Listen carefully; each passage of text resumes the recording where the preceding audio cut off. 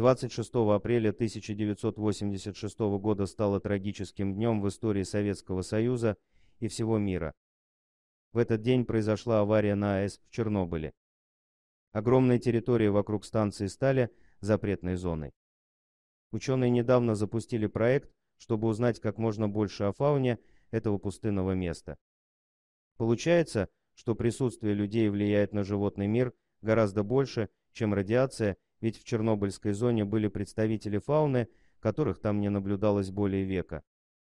За последние 30 лет количество животных в запретной зоне значительно увеличилось, что говорит о том, что радиация не оказывает такого пагубного воздействия на дикую природу, как вмешательство человека.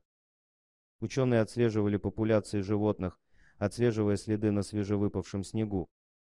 Также в ноябре прошлого года в украинской части зоны установили 42 камеры.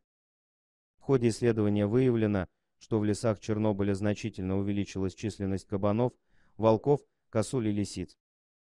Кроме того, здесь были обнаружены редкие животные, годами не появлявшиеся в этих местах, европейская рысь и бурый медведь.